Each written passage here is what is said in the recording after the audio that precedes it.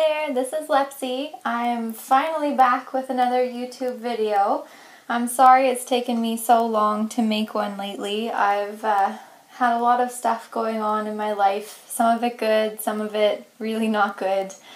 Um, and it's just kind of made it hard for me to make videos lately. I haven't had a whole lot of free time in general. So I'm sorry about that. Um, and I'll try my best to kind of get back on track with making videos. Uh, but for today, I'm just going to do um, the pickups that I got for the last two months because I didn't get around to making one in May. So there's quite a few books here because I haven't stopped buying manga in the meantime. Um, so I'll just show you everything I got for the months of May and June. Uh, so I don't really want to I don't really have anything else to say, so we'll just get right into it, I guess. Um, so the first one that I got was a continuation of a series that um, I bought last month, or I suppose it would be in April. I started it, and that's called Everyone's Getting Married. So I bought volume 3, volume 4, volume 5. I'm really enjoying this series so far. It's like your typical uh, shojo romance, um, but just with kind of uh, a little bit of an older character, um, or their characters are a little bit older, so it's a bit nicer for me because it's a little more relatable. Um, so it's kind of focused around marriage than just uh, like the normal boyfriend girlfriend high school romance. Um, so like the main characters have uh, careers and they're kind of past the whole like um, teenage drama, I suppose. And so they're thinking about marriage and considering like who do they want as their uh, partner for the rest of their life. So it's kind of nice to get that kind of romance. Um, and then I also continued with Horimiya, which is back to the uh, high school romance, but I still find it really enjoyable. I love how the characters um, aren't like your typical like super popular or like the main girl is kind of typical super popular, but then like she's really just acts that way in school, so it's kind of nice um, to not be so like stereotypical of like I don't know, they're not they're not perfect, I suppose. So it's nice to see that it's kind of down to earth and not kind of like making these characters like way too perfect. So I bought volume 3, sorry, was chatting during that. Uh, volume 4, volume 5. I really love the covers and the spines on these. The colors are so pretty. It looks so nice just sitting on your shelf because they've got like all of these really bright neon colors.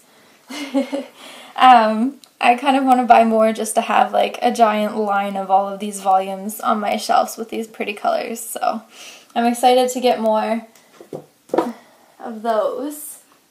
Uh, that was volume 6.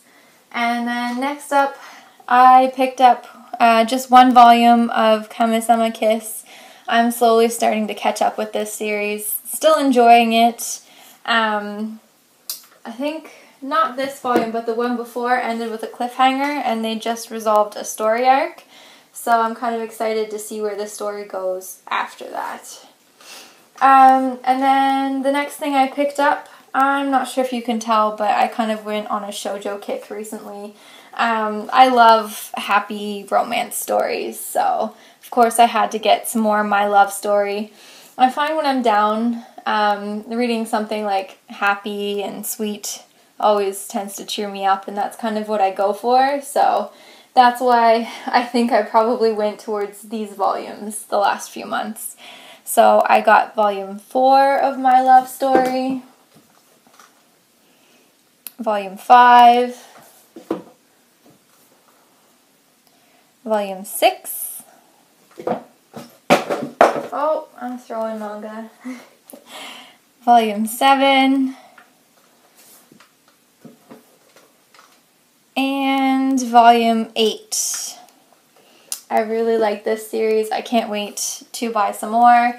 But I think it's ending on like volume 12 maybe, so I'm also a little sad to catch up because then that means that I won't have much more to go before it's over, which is kind of disappointing. Um, I think this mangaka also did uh, High School Debut. Yes, that's it. Um, I know I had read a little bit of that um, back when I was first reading manga, so I don't know, maybe I might pick that up once I finish my love story and get back into that series because I remember enjoying it a lot. Um, and then the last thing I got as a continuation, uh, it actually just came in the mail today, so technically not a June pickup. I bought it in June, but I got it today, but I figured I'd just throw it in anyway because what the heck, why not? And that is volume 9 of Vinland Saga. I have not read this yet. It's probably what I will be doing as soon as I finish um, this video. So yeah, I was really excited to get this in the mail and I can't wait to read it. Um, and then I did start a few new series. Uh, the first one is Dreamin' Sun. It's by the creators of Orange, and uh, to be honest, when I looked at it, I didn't even notice that. The first thing I noticed was how adorable this artwork looks. I absolutely love this cover and this art style, so I'm really excited to pick up some more of it. But I did read um, this first volume, and it was really good. It reminded me a lot of um, Fruits Basket, uh, except there's no supernatural elements, at least not so far. Um, but it still had like that really happy, uplifting feel to it. So I really liked this first volume and can't wait to read more. Uh, the other one I picked up is called Flying Witch. Again, the art style really drew me in. I love this cover too. Uh, I read this first volume and I did really like it. Not quite as much as Dreamin' Sun. I read them one after the other. I think I bought them on the same day too. Uh, but it just seems like a really cute series. Um, again, this one has the supernatural element, so I element. Sorry, can't talk. Um, so I got uh, this one, and the little quote on the back was what really sold me on it. And it just says that this series emphasizes that while actual magic is nice, there's ultimately magic in everything. And that just sounded so sweet. I thought it was cute. So I picked this one up. Um, and then volume two also came in the mail today with Vinland Saga. I haven't gotten to read this yet, but this cover is also amazing. I'm in love with this artwork. So this will be another thing that I'll be reading today, and I'm looking forward to it. Although I think I'll probably be reading Vinland Saga first. um, oh, still throwing manga. Jeez. Okay. Um, Next thing I got is The Heroic Legend of Arslan, and this is another new series I started. It's from the creator of Full Metal Alchemist, so I was really interested to see um, what this series was like.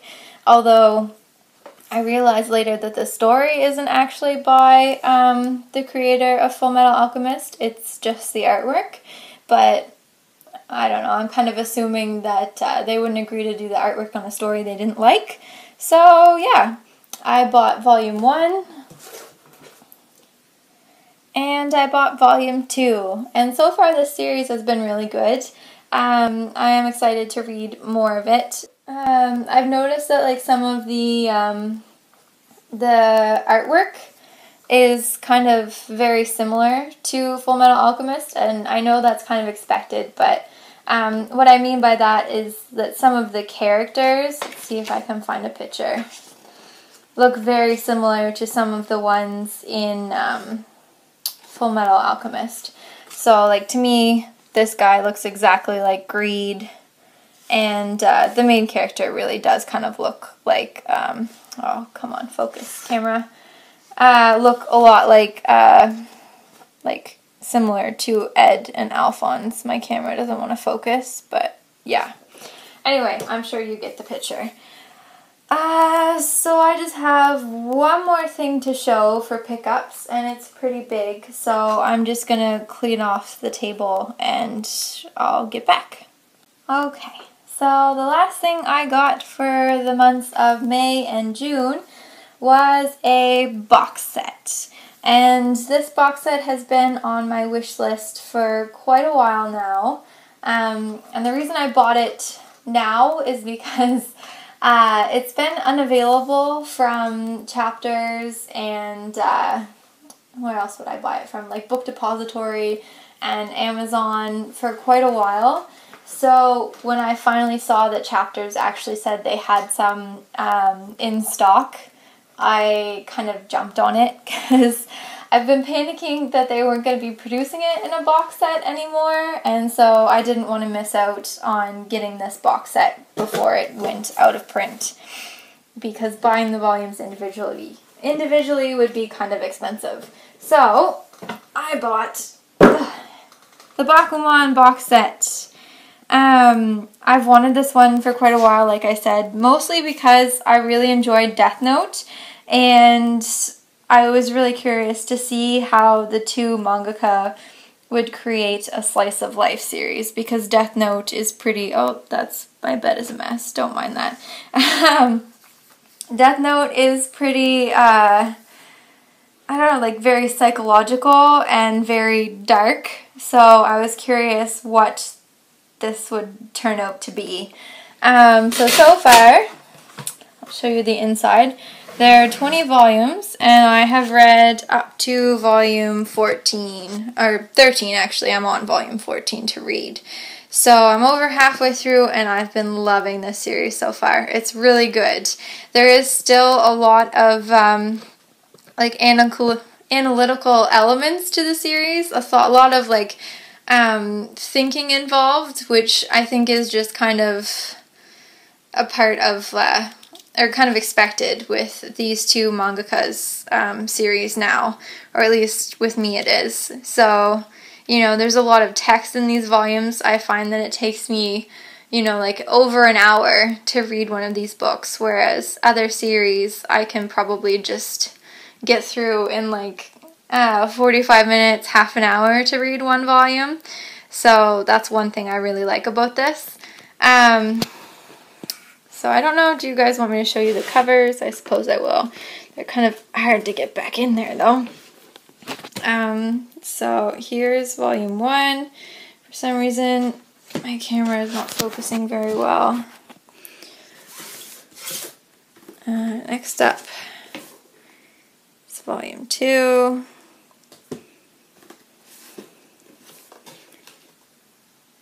Volume three.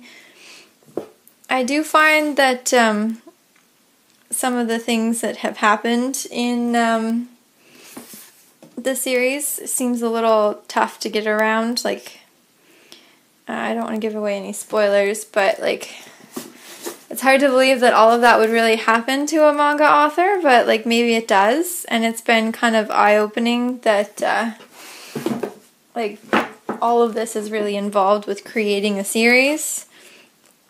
I'm sorry, my camera is being a jerk. It doesn't want to focus. It's not really showing off the artwork all that well. But I'm excited to get to the end. I really hope these two characters achieve their dreams. It's um, surprising how invested you get in the characters uh, because, like, every volume I'm cheering on like everyone. And I love that they've created a series where even the like I don't know if you could call them bad guys, but like the rivals are someone that you want to cheer for. So I find that this series, even when it has like sad points, is still very like uplifting and fun to read because everyone is so encouraging of each other and so supportive. This is the volume I'm on that I've yet to read. I haven't actually seen the covers past volume 14 because I've just been leaving them in the box. So this is kind of exciting for me. Oh, I like that one. I love the colors. And I love um, this character. I can't pronounce their names, but he is pretty friggin' awesome. He is a genius. Oh, that one's cute.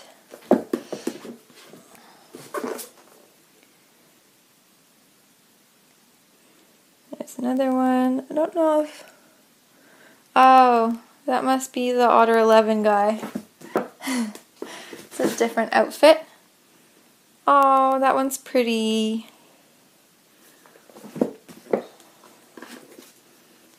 And final volume. Alright, and it also came with a poster and a copy of Otter number 11, um, like a spin-off. Alright, and then, oh, that's cute. There's little details inside the box. Yeah, and I suppose I can show the side, the back. This whole series just has amazing artwork, which I think is to be expected from this couple or this duo. Anyway, that is everything I bought for um, May and June. So I guess my next video, I still have to do the top three tag um, that I was tagged in like months ago. I have most of the answers written up. I've just been kind of dawdling on a few um, that I left so that should hopefully be up in the next week or so. I'm not going to make a lot of promises to say that I'll have it done by next week for sure, but I'm going to try my best to get back on track with making videos. So yeah, thanks for watching, and I'll see you in my next video. Bye!